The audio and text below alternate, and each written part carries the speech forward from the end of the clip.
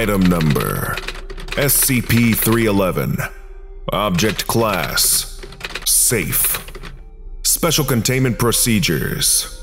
Contained in High Security Item Storage Unit G78 at Sector 28. Sealed to all personnel without written authorization from 3 Level 4 or higher senior staff. Item barred for use in further research, pending O5 comprehensive review. Description SCP 311 is a pair of plain black gloves. They exhibit extreme flexibility, which allows them to fit every hand size tested. Object was recovered from a professed voodoo practitioner implicated in several suspicious murders and following the incident, the body and all the subject's belongings, including the gloves, were appropriated by the Foundation for containment and study. When worn, the gloves seem innocuous and present no danger to the wearer. Subject responds normally to trauma inflicted on any part of the body, except the hands where the gloves are worn. All trauma and sensation of any tested kind inflicted on the subject's hands is displaced to another individual, theorized to be an individual the subject is focusing on at the time. Both gloves need to be worn for this effect to occur, but the subject need not be aware of the item's properties. Test Log 311 1 Test 1C Test Subjects D238746 D892201 Stimulus Wartenberg Pinwheel Dr. Silas Alright, how do those gloves feel? D238746 Okay. Comfortable? I guess. Dr. Silas Good. Now, focus on your partner. Dr. Silas rolls the pinwheel across D238746's gloved hand. D892201 what the fuck? I felt that! Dr. Silas. Interesting. End log. Test 2A. Test subjects. D238746. D892201. Stimulus. Hypodermic needle. Dr. Silas. Okay, now focus on your partner. Inserts hypodermic needle.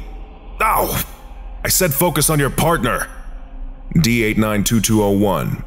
Why, Doctor? Did you feel a little poke? Dr. Silas. That's irrelevant. If you don't. Sounds of a scuffle. Guards!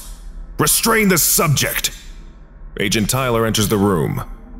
Dr. Silas. Quick, he has the needle in his. you son of a bitch! Shoot him! Gunshots. End log. Instructions for the following test were issued through a speaker using voice modulation, and D-Class personnel employed were not exposed to any Foundation personnel prior to the test.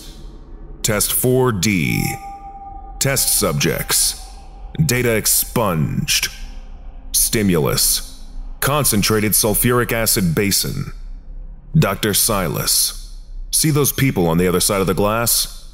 Focus on them while your hands are placed in the basin. Subject's hands lowered by robotic manipulator. After a brief pause, subject D845224 in adjacent room begins to scream, and his hands show signs of acid burns. D. My god, what's happening to him? Why don't the others help? Original subject screams subside. Subject D986720 begins screaming. D.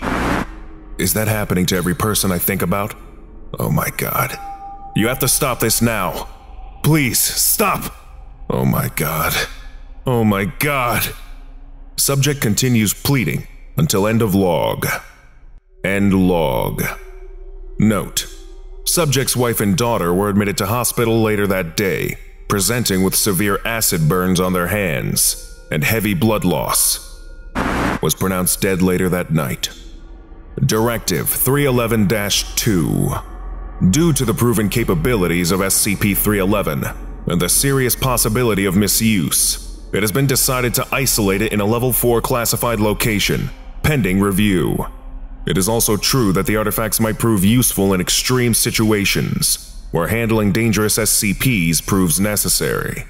In such an event, the use of SCP 311 as supplementary containment equipment will be evaluated on a case by case basis.